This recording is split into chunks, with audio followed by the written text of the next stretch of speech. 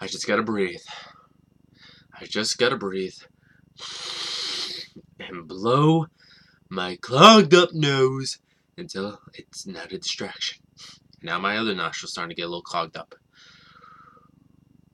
Ooh, man. uh, I'm sore. I'm sore. I'm tired.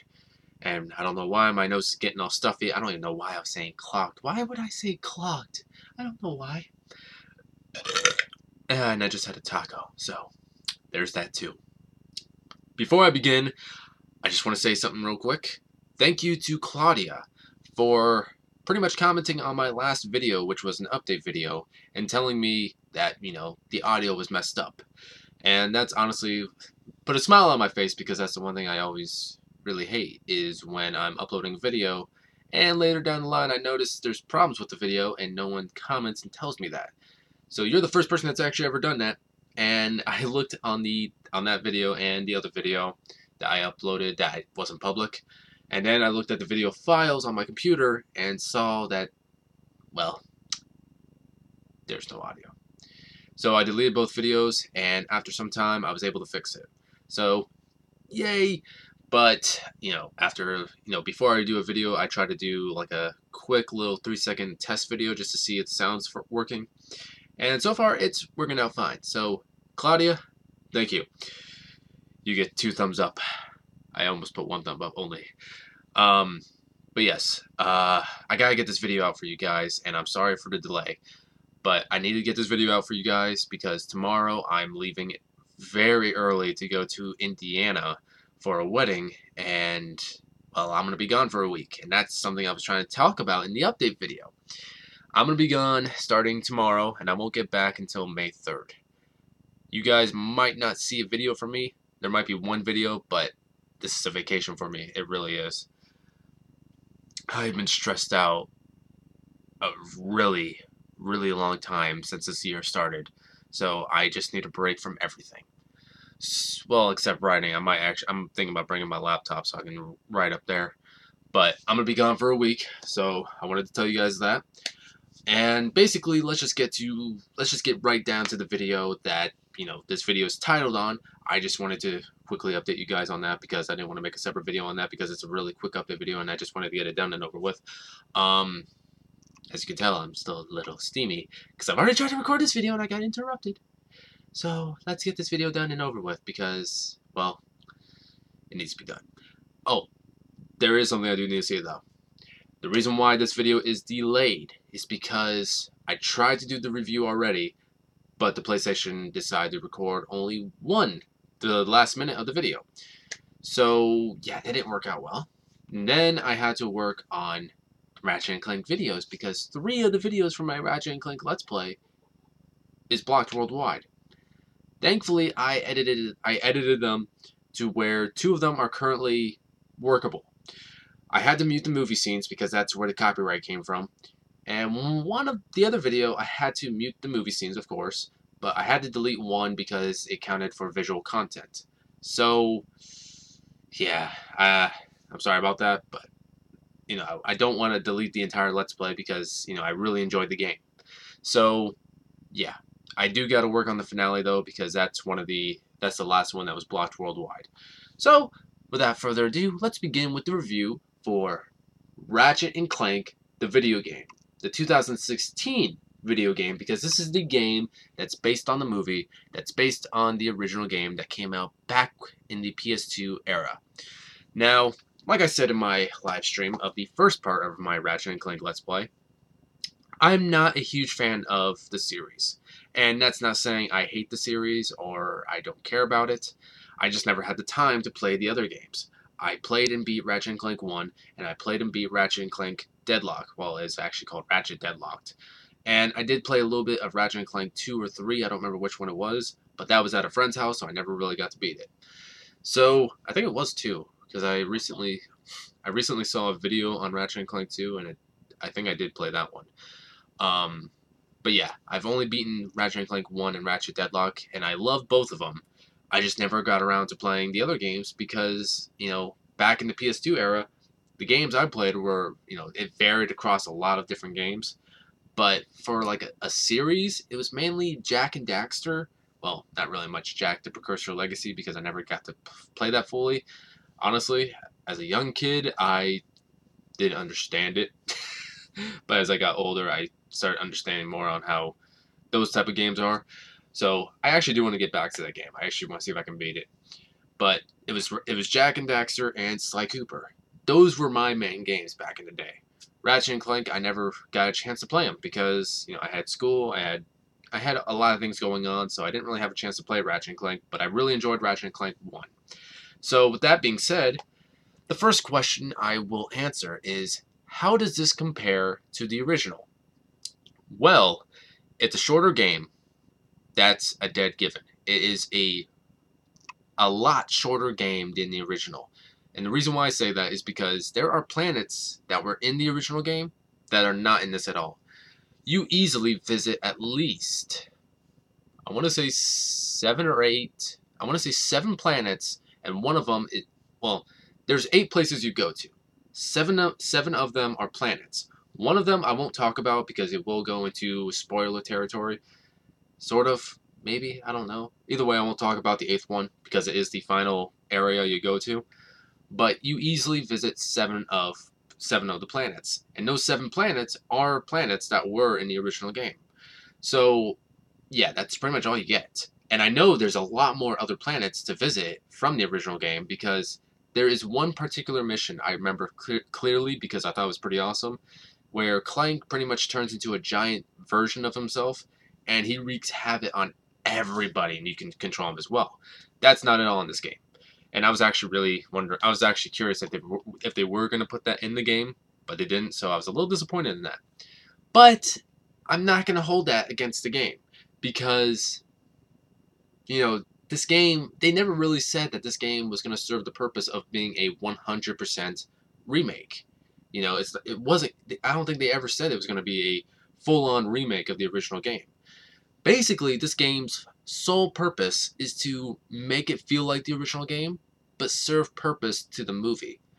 And that's pretty much what this game does. I personally believe that this game is at least 90 90% the same game.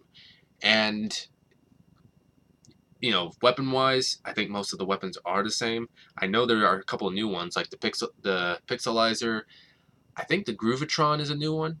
I'm not entirely sure, and there might be there might have been another new one, but those are the two that really stick out to me. So, you know, it's ninety percent the same game, and personally, at forty dollars, I think it's worth the price. And you know, that's kind of a spoiler alert for my review, but that's personally my belief. I think $40 is definitely worth the price.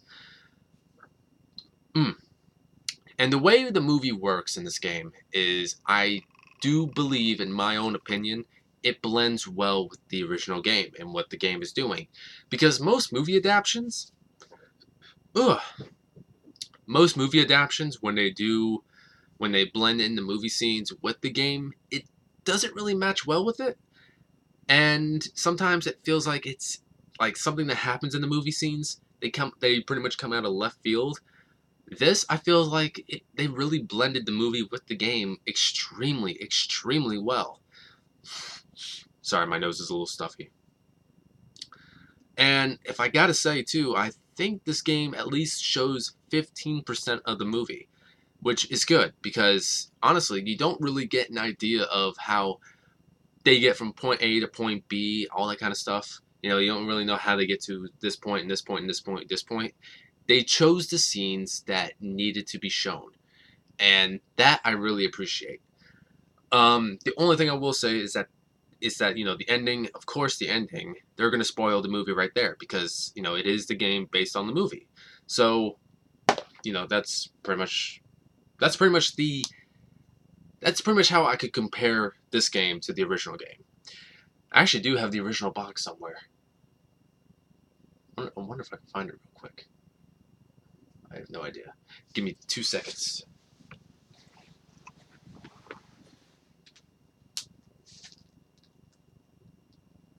No, I don't see it.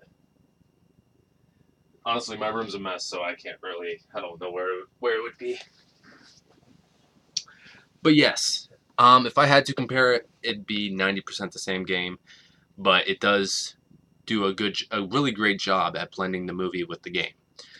Now, the biggest thing that I gotta say about this game, and honestly, this is also the most saddest thing.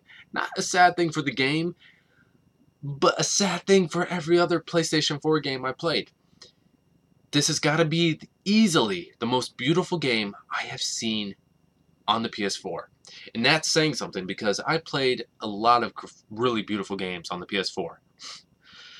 You know, The Order 1886, which was a horrible game, and I also played Until Dawn, which actually was a pretty pretty fun game. There were other games I think I played that you know were considered you know like really great looking games, but I can't really remember them right now. But for some odd reason, I honestly feel like the Ratchet and Clank video game beats them all out. Like there's something about it that when I walked into the world, you know, right when I walked out of the garage in Veldin, I was like, this is fucking beautiful. Like I was actually mesmerized with how beautiful the world looked. With how beautiful the world looked. And you know, I honestly I could play it all all day by just looking by just looking at the world and well, each world. So that is a major major plus for me. Gameplay wise, it's really fun. Uh, there's really not much I can say. It plays just like a Ratchet and Clank game. Uh, the ship controls are fun once you know the inverted the inverted controls are turned off. Um, that's pretty much it. The Clank puzzles are also pretty fun. It does take some time to figure out the puzzles when you get a little later on in the game because they're pretty easy to figure out pretty early. But once you get right into the middle of the game to later on, they're pretty damn hard, or at least they're actually challenging for once. Uh, the voice acting actually, in my opinion, is pretty damn good. Uh, Paul Giamatti as Chairman Drek. Hmm, it's it's a little weird for me. It's a very big difference considering you know the guy who played Gantu on Lilo and Stitch. He's the one who voiced uh, Chairman Drek in the original game, so it's a very big difference from hearing that voice to Paul Giamatti. But you know everyone else, I think, did a pretty good job. Uh, I don't think there's really much else I can say. The music was good. Uh, there's a lot of stuff to do. In my opinion, this game does have a lot of replayability you know, because you have golden screws to look for, you have cards to look for, you have, you know, the trophies are also pretty hard to get. Well, not really hard to get, it's more the race trophies. Oh my god, that race, the first race trophy is pretty hard. Whew. But, um, yeah, I think that's pretty much all I can really say about this game. I I really loved it. I, it's got to be one of my favorite games of this year. And one of my favorite games of the past two years in terms of PlayStation 4. So my overall score for this game would be a 9.5 out of 10. And that's saying something. I really do think it's worth the $40 and, you know, flashing back Oh, I just I, I never I never read the back of this. But this is a, this is a complete reimagining of the original game. So when you buy this game or rent this game, don't go into this game expecting it to be the full-on original game, but with amazing, better graphics, because it's not. It's a reimagining. It's a restart for the series, basically. And I think it did a bang-up job. And I'm so glad I went out and bought it because after my whole laptop fiasco controller fiasco, I was really skeptical on buying it, but I said, fuck it. I bought it, and it was honestly the best purchase I could have ever asked for. So, with that being said, I hope you guys enjoyed the review, and I will see you guys again next time.